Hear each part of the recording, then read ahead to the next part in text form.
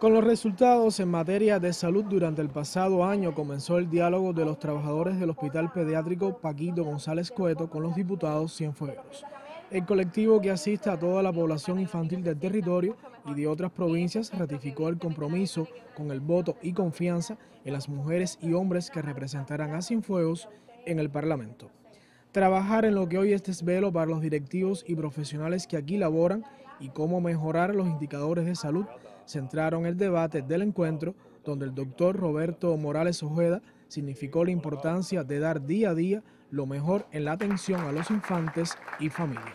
Lo que ustedes realizan demuestra que mejor es posible.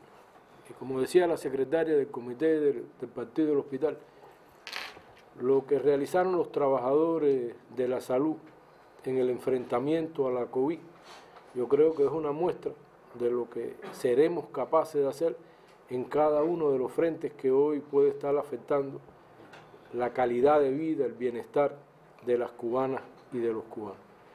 Esto es un ejemplo concreto de resistir, pero de crecer y de vencer.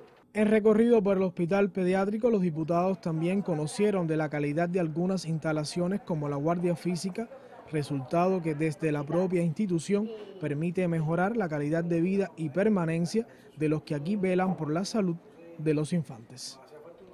Ya en horas de la tarde y como parte del recorrido, los diputados llegaron hasta la Academia de Remo y Residencia Deportiva, instituciones que garantizan la atención y formación de nuestros atletas. Todos aquellos factores del Consejo Popular de, de Punta Gorda, donde la dirección del INDER con todas sus instituciones, atletas, entrenadores, están volcados a un trabajo comunitario que realmente más que hablar de el 26 de marzo como una meta, es una motivación especial de lo que tendremos que seguir haciendo todos los días para lograr salir de la situación que hoy tenemos en el país. Aquí las voces todas desde el deporte también apuestan y ratifican el voto por Cuba, su historia y su gente.